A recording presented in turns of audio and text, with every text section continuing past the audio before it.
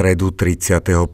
mája v poobedných hodinách museli pri jednej z bytoviek v Novom meste nad Váhom zasahovať všetky záchranné zložky. Tie boli povolané po tom, čo z bytu na najvyššom štvrtom poschodí bytovky vypadlo z okna iba trojročné dieťa. Včera po obedných hodinách došlo v Novom meste nad Váhom takmer k tragédii. Z najvyššieho podlažia štvorposchodovej bytovky vypadol z okna len trojročný chlapček. Jeho matka sa mala v tom čase nachádzať vo vedľajšej izbe. Chlapček dopadol priamo na chodník pred bytovým domom. Na miesto tohto incidentu bol povolaný vrtulník, ktorým bol zranený chlapec prevezený do nemocnice v Bratislave.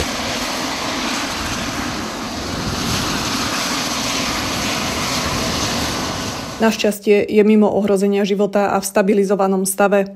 Polícia v Novom meste nad Váhom začala trestné stíhanie vo veci prečinu ublíženie na zdraví. Presnejšie okolnosti a príčiny tejto udalosti sú na teraz v štádiu šetrenia mužov zákona. David Cvitač, Televízia Pohoda.